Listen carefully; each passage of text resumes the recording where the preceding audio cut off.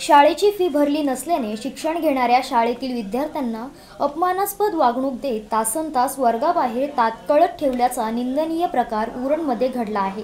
या घटनेमुळे पालक वर्गांमध्ये तीव्र संतापाचे वातावरण पसरले आहे. उरण तालुक्यातील बोरी येथील यू ई एस ही शाळा असून इंग्रजी माध्यमाच्या या शाळेत गरीब व श्रीमंत अशा सर्वच स्तरातील विद्यार्थी शिक्षण घेत आहेत. मात्र या शाळेत विद्यार्थ्यांना शाळेची फी भरली नसल्याने वर्गासमोर तासन तास तात्कळत ठेवल्याची धक्कादायक घटना घडली आहे. गुरुवारी नेहमीप्रमाणे विद्यार्थी सकाळी शाळेत गेले होते.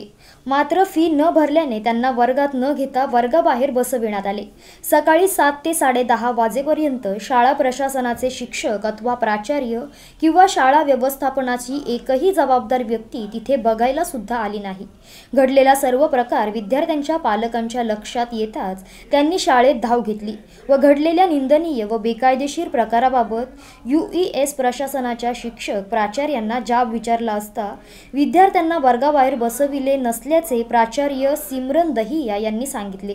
तसेच पालकांचा संताप बघून वर्गाबाहेर असलेल्या विद्यार्थ्यांना त्वरित वर्गात घेण्याचे आदेश शिक्षकांनी दिले.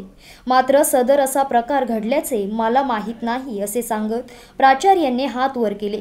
दरम्यान पालक शिक्षक संघटनेचे व्हॉइस प्रेसिडेंट प्राजक्ता गांगण यांनी पालकांची अशब्द वापरणाऱ्या या सर्व घटनेला सर्वस्वी जबाबदार असलेले शिक्षक व प्राचार्य यांना निलंबित करण्याची मागणी केली आहे.